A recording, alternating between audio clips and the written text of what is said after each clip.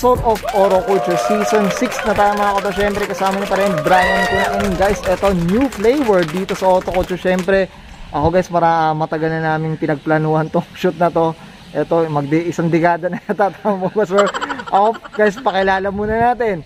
Owner ng 1983 Toyota Corolla GL. Sino pa ba? Sir Paulo Sigson. Ayan, boss. Sa wakas.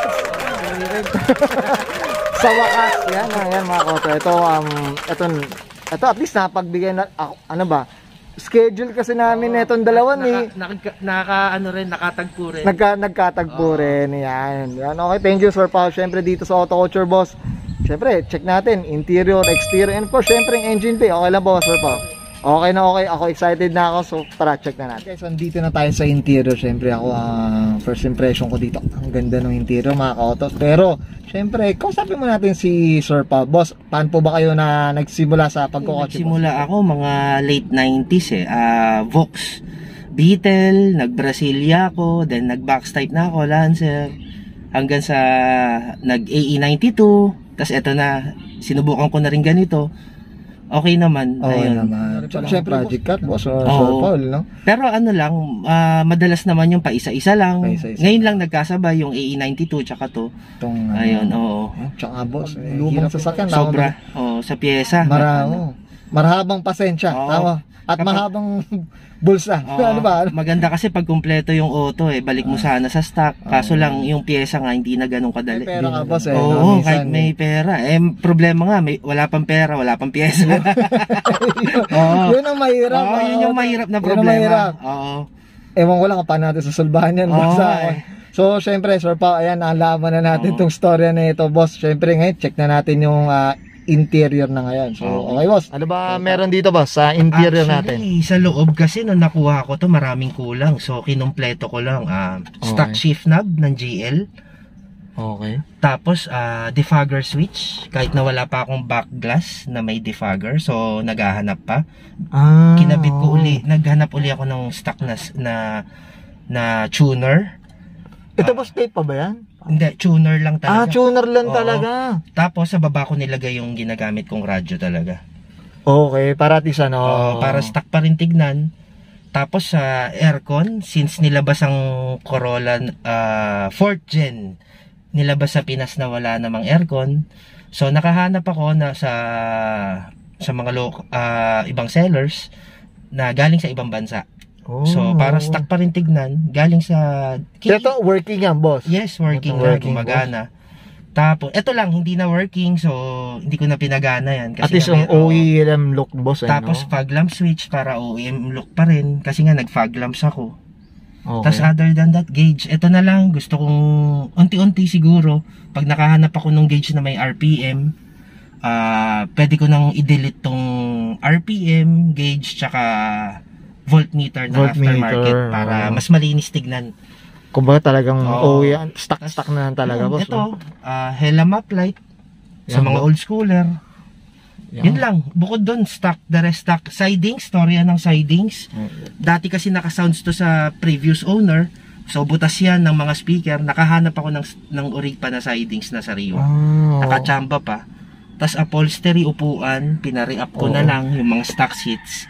Kasi nga since dati naka Recaro to, Recaro Enjoy, so nakahanap ako ng ano, pinare-up ko na lang. Na na, oh, The rest ano na uh, stock na lang. Stock na lang. Oo, wala nang ano. Ito sa carpet boss, Car ganyan. Ito wala, ano na lang to, yung matting tsaka yung carpet mga ano na lang to. Oo. Oh, Since sobrang luma na nung. Sobrang luma na. Oo. Okay, yan. Ayun. Grabe. Ito boss, et, gaano na ba karaming perang inano dito? Hindi na ano ba? Ano masyado. So mm. since may negosyo naman tayo ng mga piyesa, so nakakahanap pa rin tayo ng mga piyesang ano, pero yun nga sa presyo medyo iba na rin. Medyo makapal Kasi na rin boss. no? mahirap na talaga maghanap ng piyesa. Yeah. So kaya pinakamaganda talaga nga na setup stock eh. Stock na lang din Kasi, boss eh, no? ano, oh, less gastos. Less gastos. Oh, kaso lang nga sa ganitong kalumang auto, yung stock mas mahal. Mas mahal. Oo. Oh. Kaysa i-modify mo. O yan. Customize mo ng ibang pyesa. Ayun. Yan. Ito boss, napansin may kotse pa tayo dito boss. Oh. Ah, oo. Pina, ano mo, pina... One is to one, tsaka one is to 24. Pina, pinagaya ko. Pinagaya. Ayun, Ayan, oo. boss. Ayan. Scale model yan. Scale model, yan. oh. Okay, ito boss, kahit may relo pa oh. Oo. Ito, original pa yan, Ayan, boss. original yung gauge niya. Yun nga lang, wala nga kasing RPM. Walang RPM, boss. Yun ang Kaya ano. kailangan mapalitan. Yan, Oo. oh. Yan, oh. Grabe, pati yung steering wheel, oh. Parang nasa, ni- nasa ah, 1980s, eh, oh. Tapos aircon, working naman. Yan, oh. Grabe, lakas ng ano. Oo, malakas pa siya. Lakas. Ito, boss, nababiyahe mo to. Oo, lahat nung Christmas lang, umuwi ako Oo. Legazpi. Ah, one week biyaheng Legazpi. Yun nga lang, para kami nasahe. Medyo nakakapagod na rin. Yun, Oo, oh. ayun. Okay, lamig mo. Malamig Para sa pa, 1983, di ba? Oo, Tama ba? Yun na yun, pa. Sir Pao, di ba? Yun na Oo. lang yan. Okay. Ano boss? Okay, okay na ba? Okay. Check naman natin yung ah, rear seat. Para mag-experience tayo dito sa 1983 na ito na. Actually, ano eh, Okay. ang ang comfort kasi ng upuan ng 80s, ma, ano eh, bulky yung mga upuan talaga eh. Okay, ah. So pinare-up ko siya, pinabalik ko sa pagka-bulky niya. Ayan, tapos Italian leather na nga lang. Oo. Kasi wala na makuha nung leather na original eh. So okay na yan. Basta malinis lang. Basta tignan. malinis Oo. lang. Yan, oo. Ayan. Okay. Yan, boss, okay ka na dito sa interior natin? Oo. Okay, so tara, check naman natin yung exterior. Okay. Okay, so okay boss, ano bang meron dito sa exterior Okay. natin? Actually sa in, sa ano sa harap sa front end nito ang binago ko lang ano eh. Binal, dati kasi naka SE which is Japan. So Okay. binalik ko lang sa Toyota badge lang. So para mukhang local looking pa rin. Tapos ah, linis lang ng mga headlight yung baong ko, clearance light. Oo. Tapos ito, yung latest na kuha ko. Kahit sa Japan, feeling ko rare na to. Tsaka sa eBay, sobrang taas ng presyo. Re- ah, retractable na fog lamps. Ito na yung nabukas boss eh, no? Oo. nabukas. Ayan. ultimately rare Ayan. feeling ko Ito na, ultimate na to. Ayan, no? Tsaka pag SE pala, boss, na Japan. badge. Japan, ah, Oo. okay, yung nung pala. nakuha ko to actually naka SE lahat eh Ah, okay. Ayun. so binalik ko sa GL talaga para ano okay. Oh. Tapos fender mirror Fender pang mirror. KE70 tapos nagpalit na rin akong brand new na na mga ilaw urig buti nakakakuha pa tayo Nakakuha pa. Boss, Oo. al- alam ko ha, parang replacement na may ganyan, Oo. boss eh, no? nakachamba pa Yan. Boss, anong kulay pala nito, boss? Pang, actually para ba silver kami- siya eh Silver Oo, lang. para sa akin silver lang eh pero minsan pagka bandang hapon medyo iba kulay pero silver pa rin Oh. ayun Ito, boss, ano? Ah, repainted na? Repainted na rin actually sa na-acquire ko to sa friend ko eh. Paano? Okay. Ayun, so siya nagpa-repaint niyan. Ako na lang nagtuloy ng mga ano, detalye. Detalye, boss. Oo, Ah. dinetalye ko na lang. Okay. Ito, boss, mags natin. Ito, kakaiba to, boss. Kwenta natin ito. Oo, actually ito ano lang to, um, stock na KE70 tong mukha. Okay. Pero banded na. Nung 80s kasi uso yung banded. Winawiden nila. So by 7 na siya. Tapos nakakuha pa tayo ng brand new na ringer. Chrome ringer tawag nila. Tapos brand new na center cap na para pala para talaga rito sa steel rims na Steel rims. Oo, Ito. para mas mukhang Ayan, stock guys, oh. looking. Oo. Tingnan nyo. By 7 na siya. Natatanggal yan, mga kahoto. Huwag niyong sisikwatin daw. Sabi sa pa. Kaya hindi ko iniiwan kung saan saan. Ah, oo. Oo. boss, wag na wag, boss. Oo. 13 siya, no? Oo, 13. 13. 13 by 7. 13 by 7. Yeah. Okay, ano? Ayan. 16570 R30. Tapos stock specs ng goma. Ayan. 13, Ayan. boss. Tapos ayan. molding. Actually, molding yan sobrang rare na para sa akin. Ang hirap na maghanap ng kompleto niyan. Okay. Itong body trims. Yan. Ano na, boss, no? Medyo naka ano pa. Meron pa. Tapos, ah, ito latest kong kinabit. Ah, rocker molding. Kung tawagin nila stone guard. Pero part na part ano niyan, rocker molding ang tawag. Rocker mode. Oo, sobrang hirap na yan. Yan, Naka, Hirap buti na. nakakuha pa ako. Ayan. Tangang tsaga-tsaga lang, boss. Tama ba, Sir Pao? tsambahan din. Tsambahan na. Ito, boss, may antena pala nila. Napansin ko pa Ito, ang dito. stock to. Urig pa tong antena niya. Dito talaga siya nakapwesto. Yan, Ayan. Nakita niya, work, Oo. ano, di ba? Manual pa, eh, oh. Oo, manual pa. Hindi Manual uso. Tsaka kaya nandito sa driver side Para habang nagda-drive, pwede mong Pwede itaas. mo nang itaas. Bababa mo lang bintana mo. Ganun ang, i- ano naman eh, Oo. 80s, 70s eh. Kumbaga, Oo, lahat manual. manual. Oo. Ito boss, napansin ko, tin- tinted po ba sila boss? Ano lang, ah, clear, blue-green. Ayan. Oo, kasi hindi na kaya yung init sa labas eh. Pero gusto ko pa rin kasi medyo kita pa rin para classic. Kita. Pero kita pa rin classic, yung no? loob, so clear lang. Ayan. Ayun. Pogi, di ba mga ka Yan. Ito boss, dito, ito, ano? Na, Ah, sa sound, sa, ah, actually, ito yung sounds ko pala, Clarion. Ayan. Oo, para stock look lang rin. Tunog ano lang yan? Tunog pang bahay lang. Pambahay. Oo. Graduate na tayo sa mga ano eh, Ah. mga Tugs-tugs-tugs, Oo, boss, ma. eh. pang bahay na lang okay na yan. Okay, yan. Tapos at the rest stock na. Stock na. Ito lang pinaka at, ah, gawa ni Mang Orly. yan, yan. shoutout tayo dyan. Oo. Tapos nagpalit ako ng mga badge, binalik ko sa GL. Ayan. Pati to gawa ni Mang Orly to.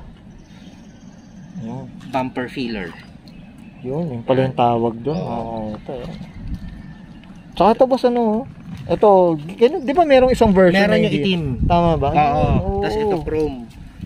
Binagay ko lang rito. Actually. Actually, yung stock ng GL itim lang. So, Oh, ginawa ko, binagay ko lang. Pero pwede ko naman ibalik pagka may mga maiinis na naman sa atin. Kasi baka mapuna na naman yan eh.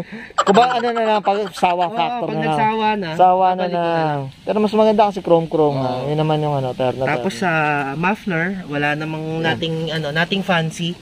Ah, pinagaya ko lang sa stock, stainless na. stainless. Pero na. maliit lang rin. Oh. Oo. Ayan. Tapos yung muffler tip, nauso yan nung 80s na ganyan Yan, na tip. oh, boss, ganyan ano. nakatiklop yung dulo. Oo, pang 80s yan. Yan, oh. Yan lang, walang ano. Ang hirap, ang hirap i ano to. Ang hirap mag-maintain.